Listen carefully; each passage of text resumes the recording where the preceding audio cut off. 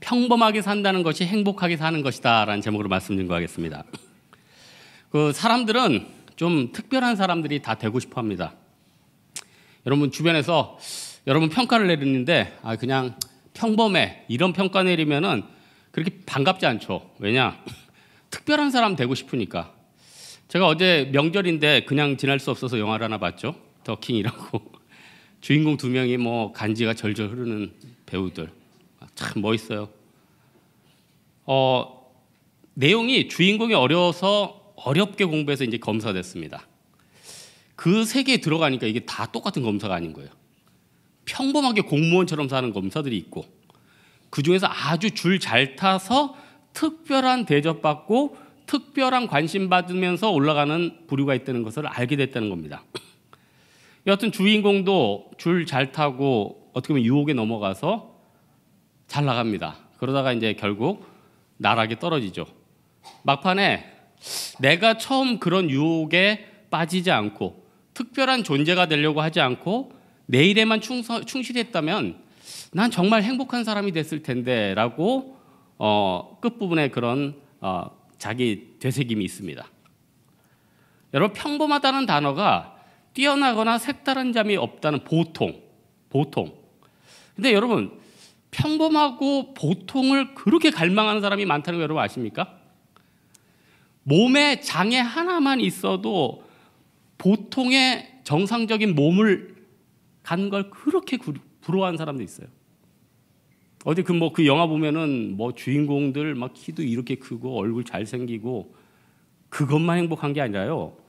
내 몸이 정상적으로 소화할 수 있고 걸어 다닐 수 있는 것만 해도 너무너무 감사되는 거예요. 그래서 제가 어떤 우리나라 어떤 지역의 유지한테 직접 들었어요. 이분이 그 시장이 거의 자기 거예요. 근데 심장이 약해서 커피를 잘 못 마셔. 이거 여러분 마실 위장이 있다는 거 이거 굉장히 감사한 거예요. 성경에 보면요. 평범하게 살다 간 사람이 있고 특별하게 간다 살다 간 사람이 있어요. 특별하게 살다 간 사람이 누가 있을까 봤더니 삼손이 딱 들어오더라고요. 삼손 사자 찢어 죽이고 사사기 16장에 보니까 삼손이 블레셋의 도시 중에 가사라는 데 갔어요. 가사에 갔는데 블레셋 사람들이 어 삼손 왔대. 야 뭐여 이제 오늘 작업하자. 몰렸단 말이에요. 어제 영화 본 내용이 갑자기 나와. 그래서 작업하자. 뒤에 숨었는데 이 삼손이 자기를 치려는 걸 알았다는 거예요. 그래서 옆에 있는 성문을 뜯어가지고 등에 메고 헤브론 산 꼭대기까지 메고 올라갔대요.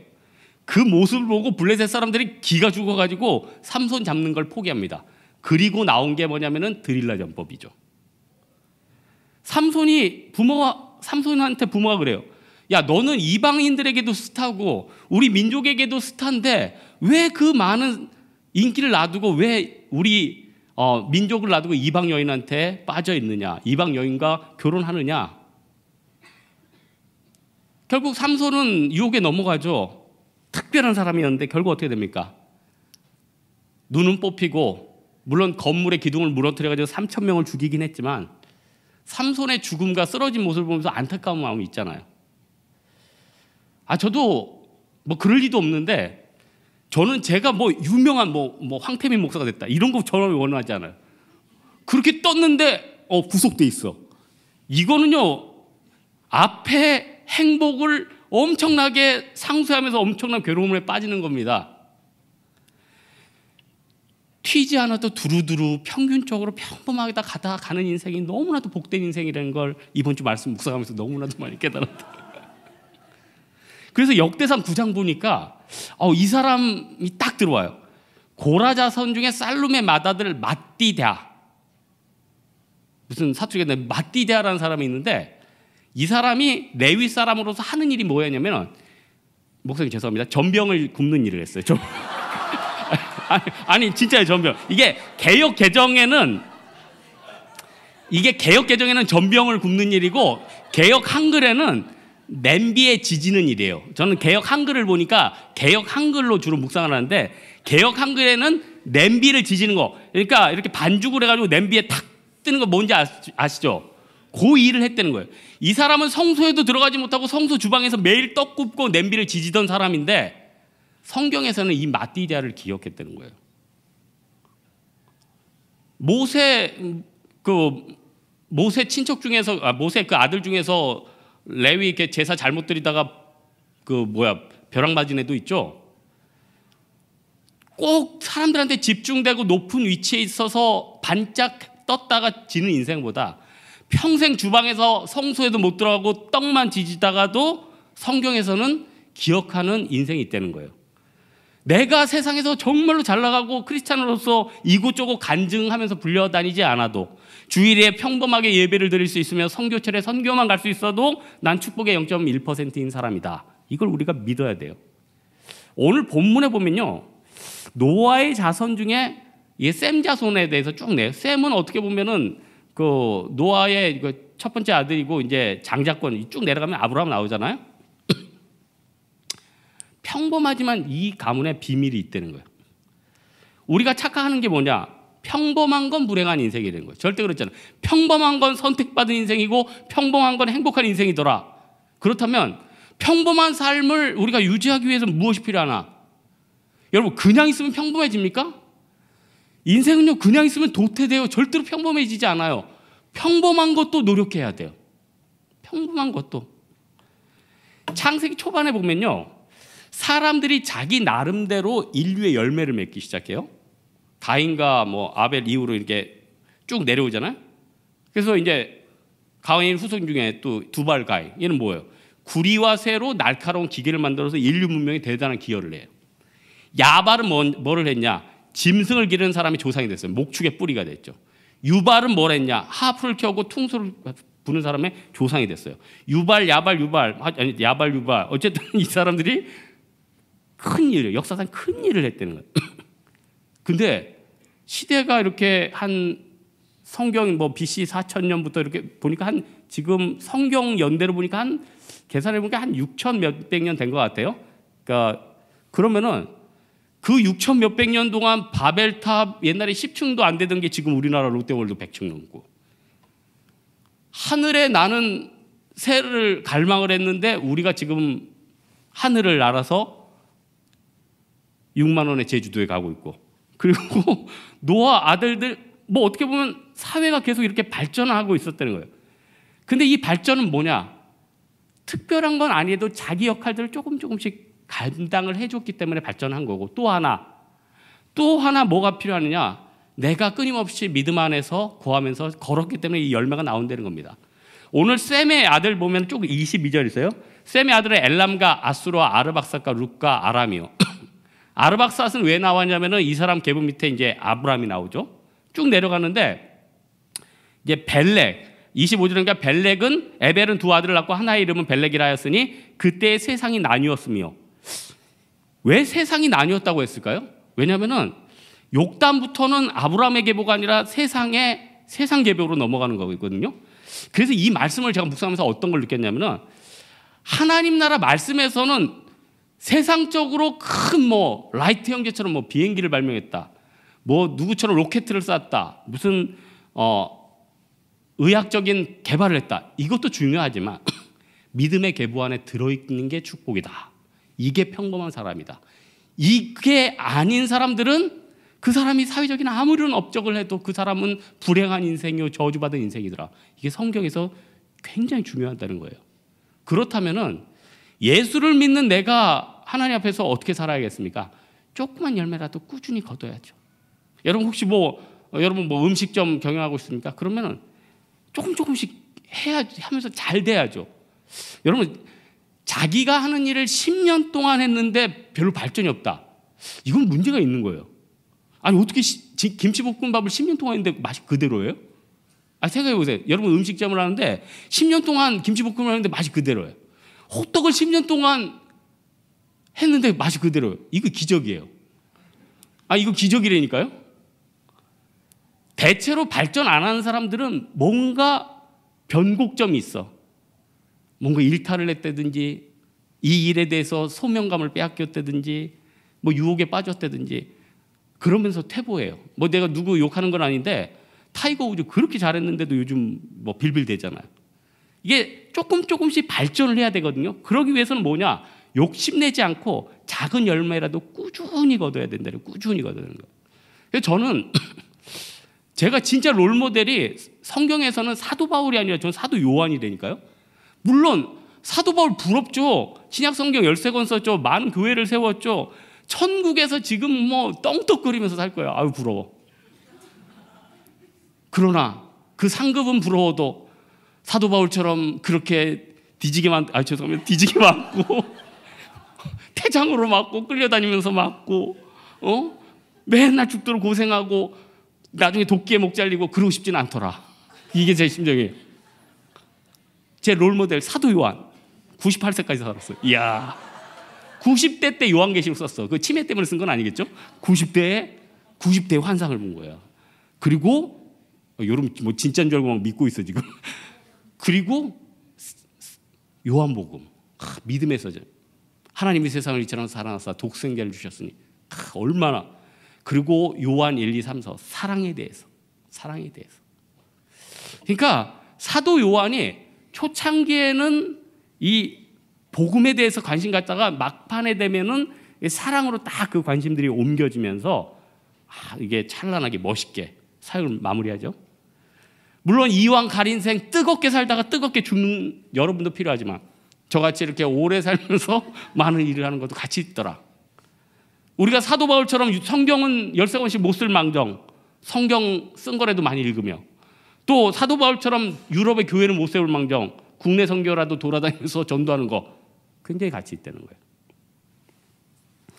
평범하게 산다는 거 큰일 하는 거 아닙니다. 큰일, 큰 능력 아닙니다. 마띠리아처럼 떡이라도 열심히 붙이면서 평생 10년, 20년, 30년 붙일 수 있다면 그게 복되고 평범한 인생이더라.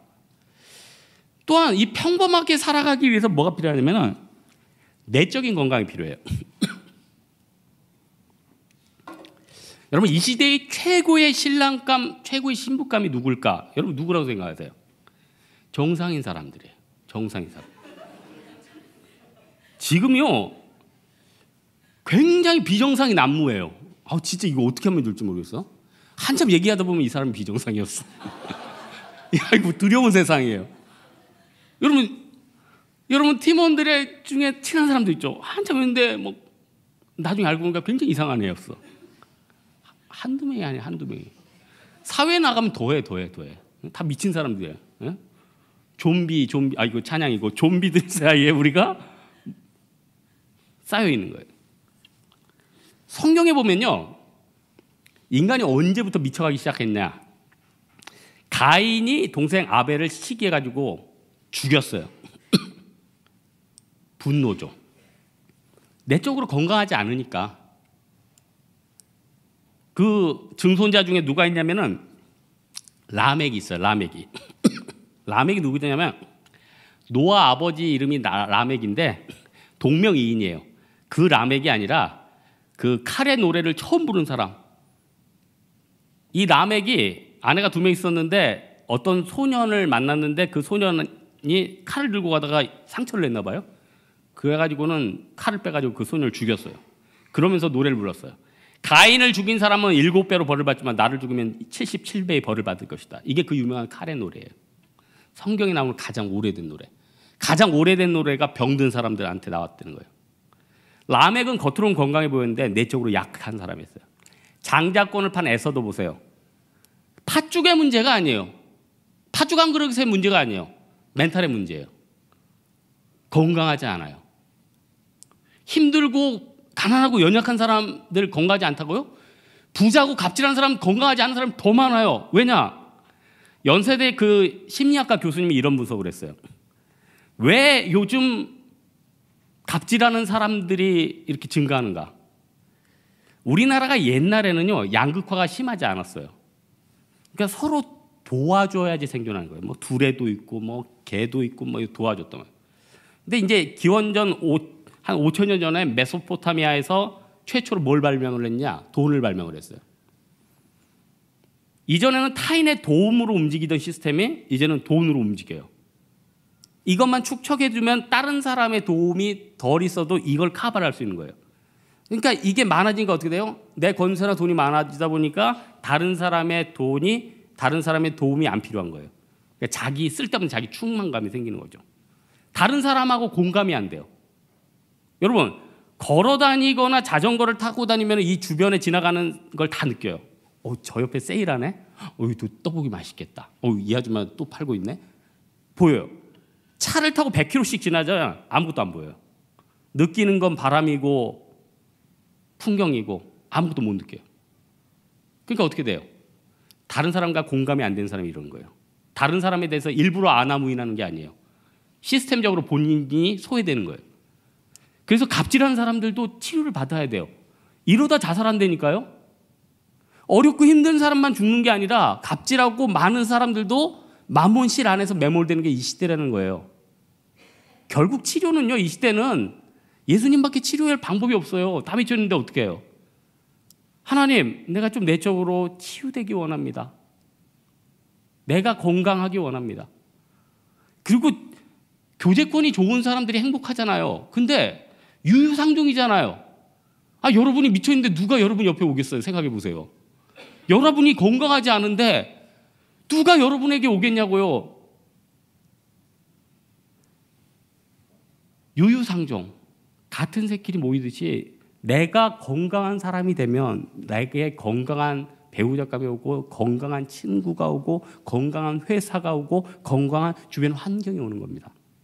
그래서 하나님 앞에 제가 내적으로 좀 건강해지기 원합니다. 늘 기도해야 돼요. 제일 좋은 게 뭔지 아세요? 감사의 태도. 태도. 하나님 너무너무 감사합니다. 저도 오늘 이번 말씀 준비하면서 감사를 생각했더니 하나님 앞에 감사한 게 너무 많아. 그래서 하나님 앞에 그냥 누워서 계속 찬양해서 하나님 멋져 멋져 멋져. 아, 우리 분위기가? 아니, 뭐, 멋져. 아니 진짜 이게 너무 너무 감사해요. 하나님 멋져 멋져 멋져. 너무 멋져. 많은 사람들이 어, 이 멋쩍은 분위기 뭐죠? 여러분 감사가 없는 거예요. 그래서 병들어 있는 거예요. 어? 저만 건강하잖아 지금. 좋은 사람 되기 위해서 진짜 하나님 앞에 감사해야 되죠. 도움 준다고 감사한 게 아니 건강한 게 아니고 도움 받는다고 건강한 게 아니에요. 이거는 부단히 서로 노력해야 돼요. 이거 사실인데 내가 신뢰가 될 수 있을까봐 조금 각색할게요. 이 한 목사님이 친구가 선교지에 나가서 선교를 해요. 선교지에 가니까 얼마나 힘들겠어요. 한국에서도 목회가 힘든데 그러니까 친구가 선교지에 나가 있으니까 너무 힘, 걱정이 되니까 이 목사님이 자기도 힘든데 친구한테 매달 몇만 원씩 한 2년 동안 보냈나 봐. 야, 친구야, 너 그렇게 힘들지? 근데 자기도 힘들잖아. 애들도 커가고. 그러니까, 야, 내가 올해 2년까지만 하고 이제 좀 못하겠다. 내가 다음에 좀 여유 있으면 할게. 근데 거기 있는 친구는 그게 너무너무 서운한 거예요. 왜냐? 그 친구밖에는 도와줄 애가 없는데, 너한테 5만 원, 10만 원은 물론 작은 돈은 아니지만 여기에서는 생명을 살릴 수 있는 거리고 내가 한 달 먹을 건 거야. 그러니까 그 친구에 대해서 그렇게 서운하는 거예요. 하지만 얘는 그 문자를 씹고 있는 걔를 보면서 내가 2년 동안 너 때문에 얼마나 고생해서 이걸 보내는데 그렇게 잘 들으세요? 도움 주는 사람은 상대의 어려움을 더해야 되고 칭찬받을 생각이나 어떤 인사도 기대하면 안 돼요. 이게 건강한 거예요. 도움받는 사람은 언제 이 도움이 멈춰질지라도 과거에 도운 것을 생각하고 감사하는 마음을 갖잖 이래야지 관계가 지속되는 거예요. 이게 건강한 거예요. 이게 없으니까요. 서로 원망한 거예요. 도움 주면서 이게 악순환이 되는 거죠. 왜 다윗이 요나단하고는 친구가 됐으나 그 왕하고 어떻게 보면은 사울왕과 더 끈끈해져야 되는 게 정상 아니에요? 사울왕을 도와서 나라를 세웠잖아요. 근데 왜 사울왕은 내 쪽으로 건강 안 하는 거예요? 요나단은 내 쪽으로 건강한 거예요. 나이를 조사하니까 요나단이 다윗보다 20살이 넘, 넘게 많더라고. 여러분 그 팀에서 20살 되는 형이나 이모들 보세요. 그 친구로 늘 지낸다는 게 쉽지 않잖아요. 마음이 건강하면은 나이에 상관없이 친구 될 수 있어요. 사람이 나이가 들어서 주변 애들이 떠나지는 게 아니에요. 마음이 병들어서 떠나는 것이더라. 굉장히 중요해요. 마음이 건, 마음이 병들어서. 내가 늙어서 사람 아니야 마음이 병들어서.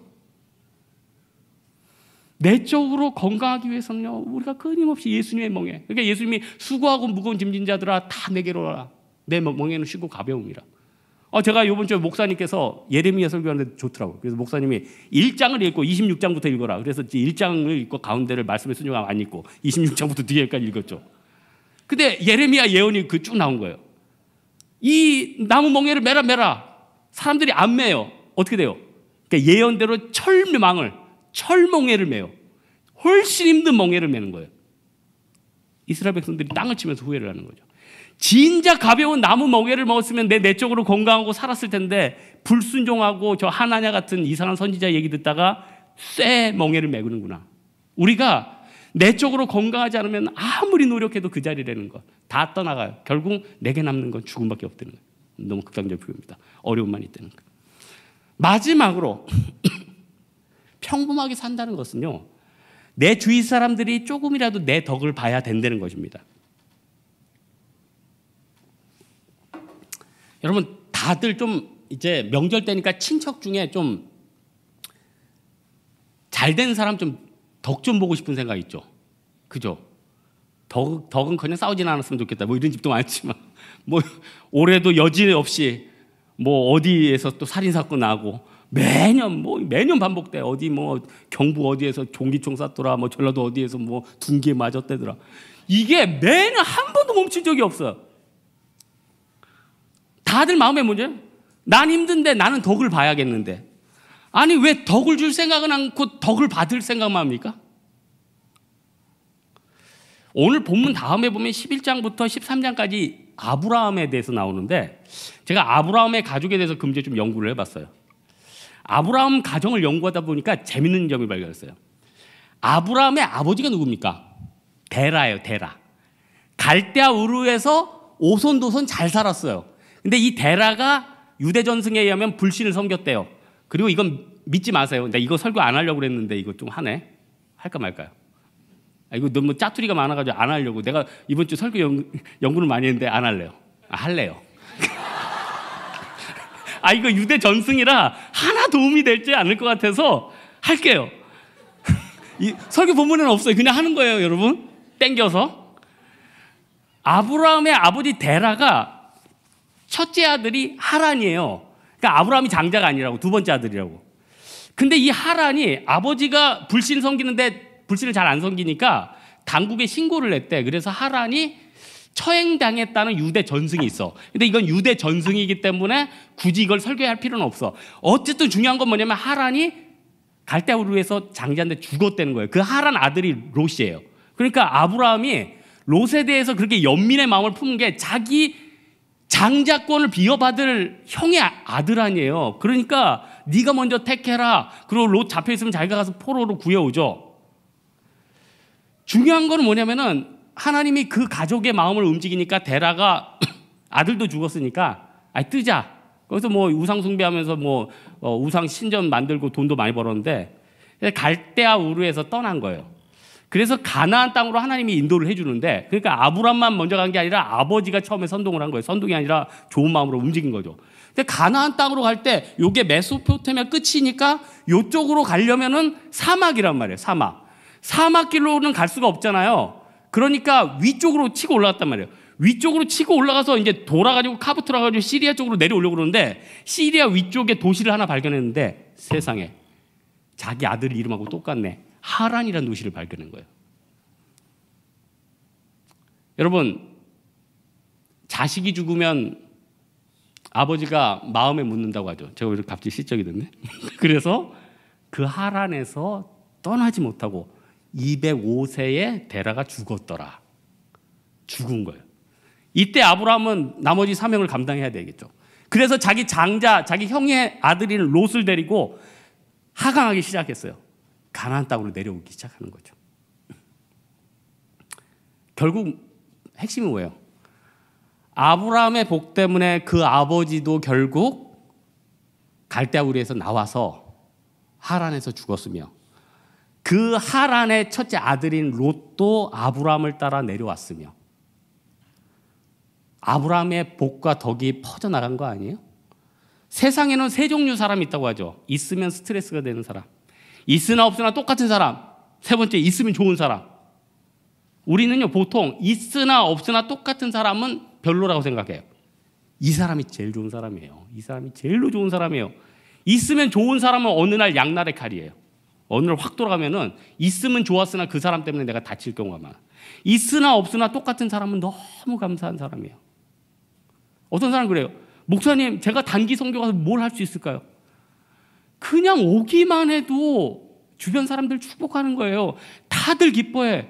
그래서 저도 이번에 보니까 고성동교 때 평소 팀 모임도 잘 못 오신 분이 와가지고 막 찌개 끓이고 막 섬기는데 너무 감동이야. 또 사라지셨어.